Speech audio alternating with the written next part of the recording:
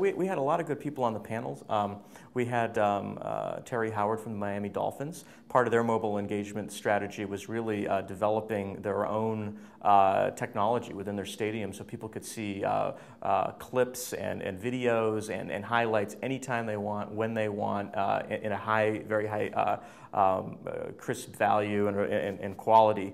we also had um, members from Point who have developed a, a nice location-based application. And you know, when we cited what we do, which was um, a Black Friday campaign that we had just done with a major retailer where we experienced a 4x uh, conversion uh, by using location-aware SMS messaging. We all know how businesses work. We get incredibly busy. When we meet digital marketers, they've already got seven to 10 things going on. Um, we're bringing them a new one.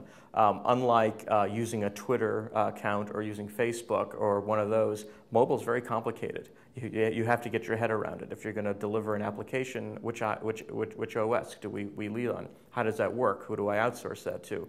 Um, and so we're trying to take a different approach. Uh, in the US, um, SMS continues to grow in ways that people never thought it could. The Pew Institute uh, issued a, uh, a recent study and within the study, they, they, they, cited, you know, the adoption of SMS uh, in the U.S. And, um, you know, what they really noted was that uh, SMS adoption in the United States is, is really off the charts. For the under 25 group, they're, they're uh, sending on average uh, in the, you know, 100 a day, 3,000 a month.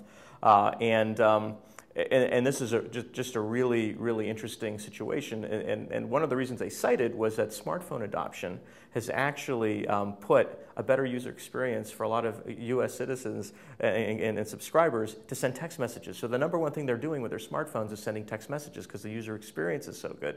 Juniper put out a recent report that stated that the application to person SMS market in the US is going to be a gigantic market that will actually eclipse the person-to-person market. So what that means, uh, what does that mean? Uh, that means that we're all sending text messages to each other quite well, but um, businesses have yet to really, uh, you know, use SMS uh, to drive business to, to consumer marketing. So, um, so for many marketers, I think this is a missing, you know, when you see smartphones and you see mobile internet, you see all these things happening, you forget that there's this big opportunity in, in SMS marketing uh, in the US that hasn't yet to be explored by brands. It's, it's one of these things that I look at from, you know, 30,000 feet, which is how long did it take email to evolve into the digital marketing channel it is today? Uh, over 10 years. So, um, so even though we've been using uh, SMS for premium rate, uh, for downloads, for person to person, the market to, for application to person is going to be, you know, another 10 years in coming where we, you talk about the long tail of all businesses being able to use this as a great interactive channel.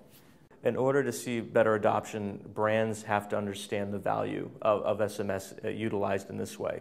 And I think, you know, um, there is some technology that's happened for us uh, we're a location-aware marketing company. Location, the type of location we use, which is off of cell towers, which is available across the four big carriers in the U.S., only became available in December of, of last year. So now when we walk into brands and we say, look, not only can we just do bulk SMS messaging, uh, if you've got 300 retail locations across the U.S., we can pinpoint which message to send to which one. Suddenly, this feels game changing to them.